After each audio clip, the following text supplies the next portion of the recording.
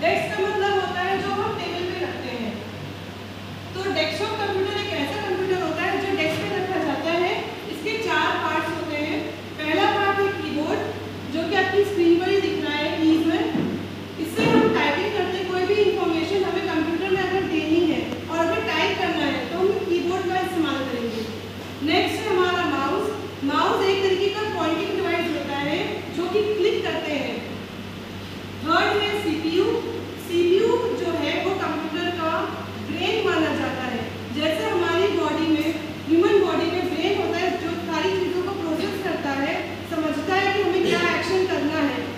उसी हिसाब से कंप्यूटर में भी ब्रेन होता है, जो कि सीपीयू होता है।